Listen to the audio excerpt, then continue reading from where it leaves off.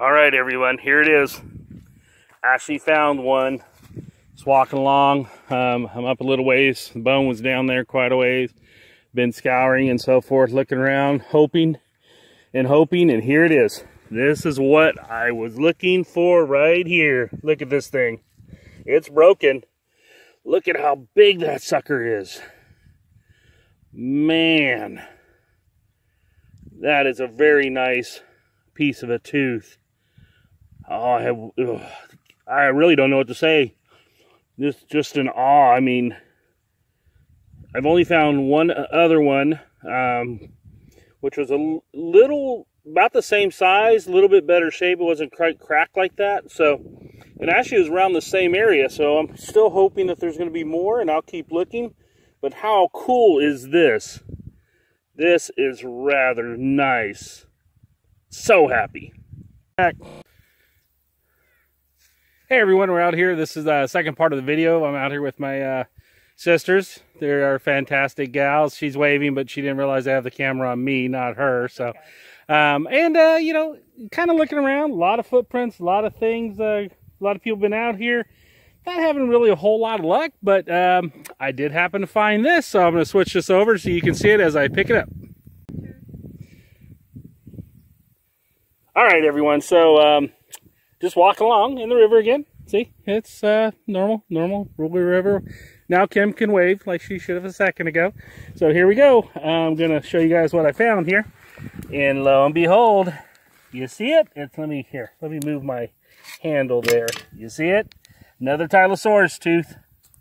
It's, uh, well, it's half a Tylosaurus tooth, but still, two days in a row I've been able to find one. Actually, it's just got a chunk out of it.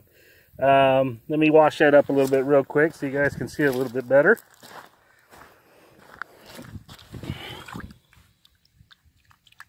But there you go. Two days in a row, being able to find one. Well, good morning, everyone. Uh, this is your North Texas Fossil Dude. I've uh, been a little while since I made a video. I actually have one pretty ready to go. I need to identify two bone pieces. And I was waiting for the sun to come up and get a little bit brighter out here before I said my good morning. Um, we uh, learned a lot the last week. Went out to the beach and uh, was really interesting watching the way the waves would disperse because there was some fish vertebrae, some pretty big ones actually, and how they were strewn over like 30 yards along the beach. So it gave me a good idea of when this was underwater and the waves were moving around and how stuff got dispersed and so forth and how rare it is to find things exactly in one spot. So but the reason I decided to start a little bit early here is I think I actually found something already. Yeah, so let's take a look. I'm going to switch this around and let's see if we can both uh, get it together. So,